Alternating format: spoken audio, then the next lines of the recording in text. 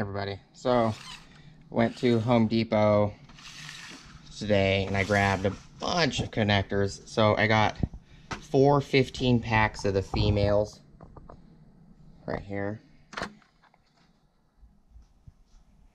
Part number 15-153F.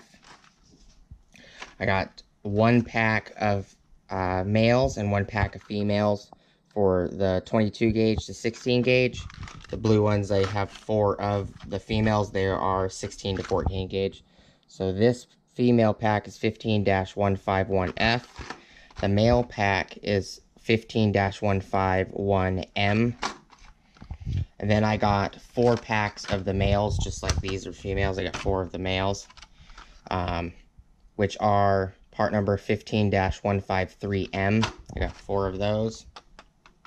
And then I got uh, some of the neon yellow ones, which are 10 gauge.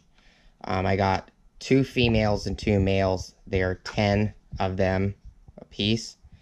Um, they are 15-155F for the females and then 15-155M for the males.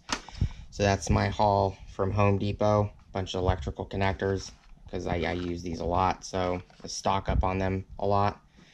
Please like, comment, subscribe, hit the bell notification icon. All of this right here costs me only $42, which I thought was pretty good. They're like 260 a pack for 15 and um, three uh, 20 for the a pack for the the 10s 10 and 12 gauge the neons so wasn't bad price so please like comment subscribe hit the bell notification icon um, if you want to see future updates and check out the Amazon affiliate links and I'll see you guys next time